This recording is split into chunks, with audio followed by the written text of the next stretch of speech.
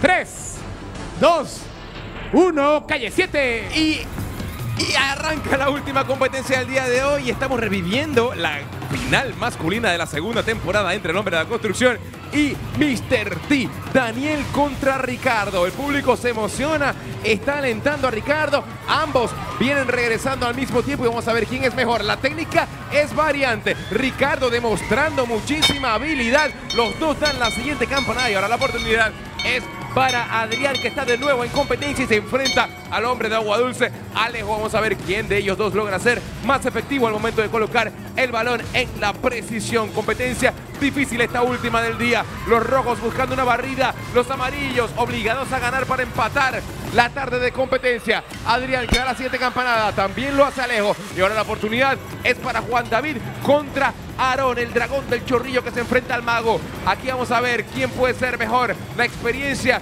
de Juan David o la agilidad de el dragón del chorrillo. Vamos a ver, Juan David que falla al momento de colocar el balón, también lo hace Aarón, pero los dos se recuperan para tratar de reponer el tiempo perdido y los dos están básicamente en la misma posición. Lo hacen, coloquen los balones. Vaya competencia tan reñida y complicada esta última del día. Los rojos no van a regalarle una victoria al equipo amarillo. Juan David da la siguiente campanada y una retención. Retención que pueden lapidar las intenciones del equipo Escarlata. Y vamos a averiguar por qué fue esta retención, porque es importante saber de qué se trató. A ver, ¿Por qué fue la retención? El señor Adrián le pegó a la campana y tiene que pegar, eh, tocar el hilo.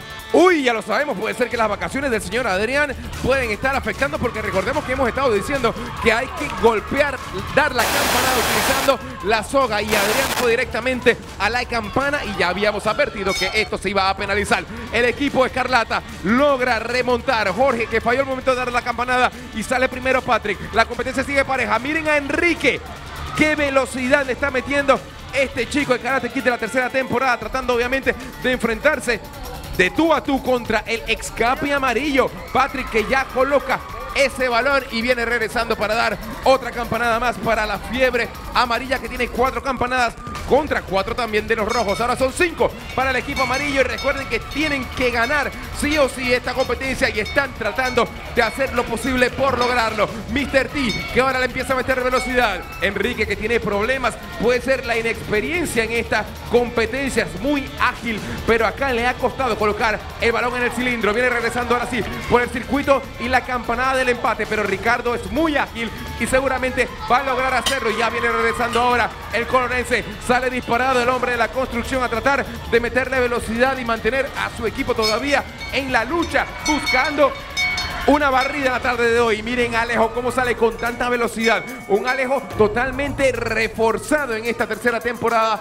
buscando llegar mucho más lejos en la etapa verde. Seis campanadas para el equipo amarillo. Daniel viene regresando para darle el empate, pero Alejo lo logra efectivamente. Aquí no se puede cometer ningún tipo de error. Tres minutos con 14 segundos han transcurrido en esta última competencia del día de hoy. Siguiente campanada amarilla. Llevan siete, están obligados a ganar sí o sí si quieren todavía tener oportunidad. Los amarillos haciéndolo bien, pero consiguiendo una victoria. Empatan el día, o sea que tendríamos que ir a un desempate al final si las cosas se mantienen de esta manera. Siguiente campanada para los escarlatas. Empatado el marcador. Poco a poco los rojos comienzan a acercarse peligrosamente. Mientras tanto, por parte de los amarillos, el dragón del chorrillo le da entonces la oportunidad a Efraín y una siguiente campanada que los mantiene todavía adelante en el marcador. Tres minutos con 52 segundos han transcurrido en esta última competencia. Competencia válida por 300 puntos. Y recuerden que los rojos ya tienen 300. Si los amarillos logran ganar, empatan la competencia y si los rojos lo hacen tendremos una barrida por parte de los escarlatas para iniciar la semana, Ramiro. Bueno, así es, Marco, continúa la competencia. Estamos viendo que empezó con mucha intensidad y está empatada en campanadas, pero ahora el equipo amarillo con esta del señor Efraín se pone adelante. Entonces, con respecto a su similar, le ha costado un poco al equipo eh, rojo, sobre todo al momento de la anotación donde Enrique tuvo ciertas dificultades y problemas y por esto el equipo amarillo va adelante, pero los rojos no se pueden rendir. Lo mismo que pudo haber pasado con su equipo le puede pasar a los amarillos, aunque están tomando precauciones. Vemos entonces al encargado Enrique siguiendo a toda velocidad para recortar de poco a poco. Los rojos quieren atacar el circuito para tratar de hacer lo suyo. Vemos a Enrique en este momento haciendo su tiro, mientras observamos a un Mr. T a toda velocidad tratando de llegar a la anotación. Ahí vemos a Mr. T. Tiene también la suya. Y en este momento sigue todo igual. No toca la campana. Enrique Daniel que le tiene que meter velocidad. Frustración por parte del hombre de la construcción que en varias ocasiones ha tenido que ver que sus compañeros no toquen la campana de manera correcta. Vemos entonces que se prepara a tirar. Pero también Alejo está allí manteniendo la posición para los amarillos. Vemos que Alejo también lo hace y el equipo amarillo siempre preciso. Son quirúrgicos en muchas ocasiones cuando se logran concentrar y a veces eso les permite ser mayormente efectivos en la competencia. Eso se vio mucho en la segunda temporada donde prácticamente los errores eran mínimos. Pero aquí el dragón tiene una dificultad. Pierde el varón, pero así también tiene una dificultad del equipo rojo. Quizás en el momento donde pudieron haber recortado, vemos cómo entonces los escarlatas con la caída del balón del vaquero del oeste se ven retrasados en este preciso momento. También la coloca el señor Vaquero del Oeste, pero vemos entonces que los amarillos continúan haciendo lo suyo, ya van seis minutos de competencia y esto se vuelve mucho más cansón, Marco, porque obviamente al estar en el circuito corriendo de un lado a otro y tratando de explotar todas tus capacidades físicas, ya el cuerpo no responde igual y las piernas y los brazos comienzan a flaquear. Vemos entonces a Juan David que tiene la posición, también la tiene Efraín, pero recordemos, el equipo amarillo va adelantado en este momento con respecto a su similar del equipo rojo. Vemos que logran los dos la campanada, pero esto continúa. Ahí está. Vemos al hombre de Albacete contra Patrick. Mucha velocidad en esta competencia, señoras y señores. Vemos que el equipo amarillo llega a posición. Ahí está, haciendo lo suyo. Vemos también que el español coloca el balón muy cerrada la competencia porque el equipo amarillo no comete errores y esto permite que sigan las distancias en el marcador. Van a tocar la campana en este preciso instante cuando llegamos al último minuto de la competencia. Último minuto de la competencia y los amarillos están tratando de lograrlo, empatar el día. Aquí no se acaba si se mantiene el marcador de la misma manera. Mr. T con mucho control tratando de colocar ese balón en el cilindro. Lo hace bien. También lo hace bien Enrique. Le mete velocidad también el equipo Escarrata. Miren la agilidad con que atraviesan el circuito estos dos grandes competidores. Quedan 40 segundos de competencia. Siguiente campanada. Y hay un error por parte de Daniel que estaba fuera del punto de partida y me parece que si el equipo amarillo se concentran pueden cumplir la misión de empatar la tarde en el día de hoy. Competencia de verdad en calle 7 Panamá. Queda menos de 20 segundos. Una distracción importante. Un error por parte del equipo rojo y ahora los amarillos cumpliendo su cometido, dando una siguiente campanada, 17 campanadas contra 15 que tiene el equipo Escarlata y esto termina empatado en 5, 4, 3, 2, 1, tiempo y el equipo amarillo empata el día. Y ahora tendremos que irnos a un desempate, 300 puntos para cada uno de los equipos. Y tienen que tomar la decisión de quién será su representante para hacer este desempate, choque de titanes, porque realmente han demostrado que son muy buenos. Y atención competidores, atención porque hay una variante en esta ocasión. Atención capitanes, va a ser a tres campanadas tres campanadas, lo que quiere decir que tienen que escoger a sus tres mejores competidores para poder tratar de cumplir esta misión. Fueron cinco que estuvieron en competencia y ahora tienen que decidir quiénes serán los que representarán a su equipo en este desempate por parte del equipo Escarlata. Y tenemos al nuevo capitán Myron conversando con sus compañeros y por parte del equipo amarillo.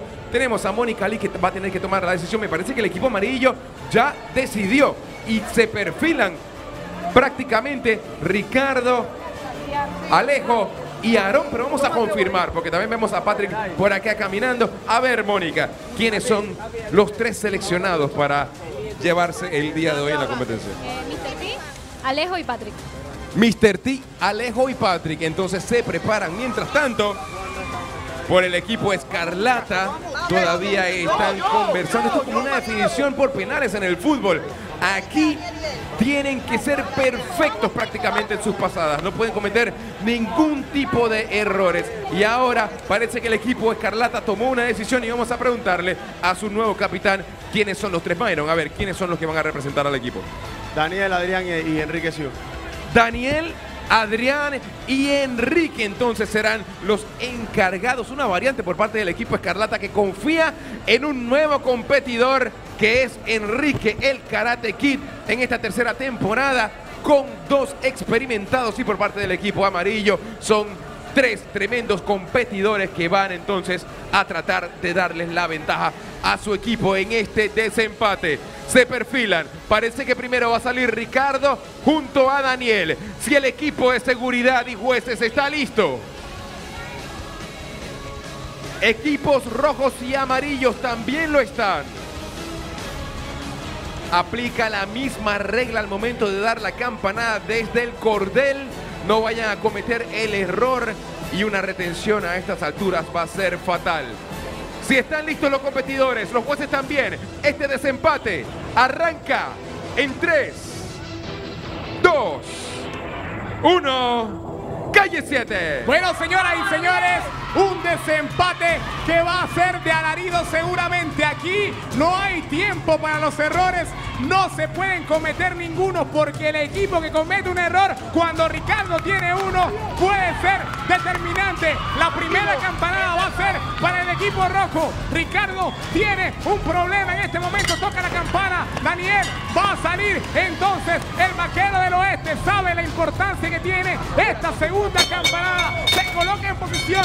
Giovanni hace el pase de la carriola y el balón. El cowboy haciendo lo suyo. Tiene la posición. Alejo muy rápido y veloz. Tiene la posición. Tiene que hacer lo suyo el cowboy. Cae Alejo. Quizás víctima de los nervios. Y Enrique será el último. Vamos a ver cómo le va el Karate Kid que tuvo dificultades en el día de ayer o en el, hace un momento, mejor dicho, a la hora de tirar. Vemos que Enrique se prepara, está allí en posición, está tratando de lograr el balance perfecto. Lo tiene. Parece ser que Patrick viene a toda velocidad. Enrique sigue adelante, tiene problemas y Patrick puede tener la victoria en este momento. Enrique muy complicado. Señores, el equipo rojo puede perder el día. Vemos que Patrick también falla.